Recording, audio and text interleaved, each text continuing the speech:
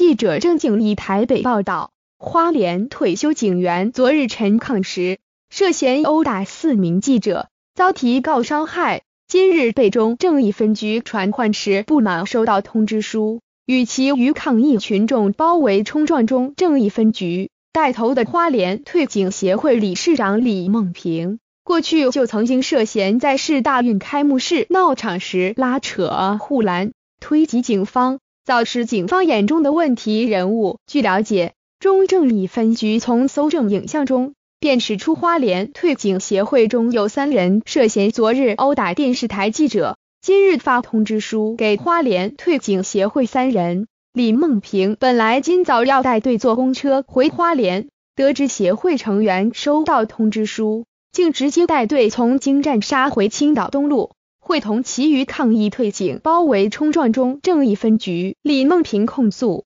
中正义分局要找他们去泡茶，不让他们回花莲是违法的举动。据了解，中正义分局仅发通知书让三人签收，未强制拘留三人，更没有制止李梦平等人回花莲。李梦平及退休警察总会理事长耿继文在现场遇到前中正义分局长。现任大安分局长周焕兴还当场白老，强声说：“我以前当分局长，你救我的警备队长，你现在摆那什么脸？”十分嚣张。李梦平与警方推挤拉扯完毕后，还对媒体表示：“我们没有打警察，不认有激烈举动。”目前收到通知书的三人，在抗议群众离开中正义后，自行前来中正义分局做笔录。有警方问讯中，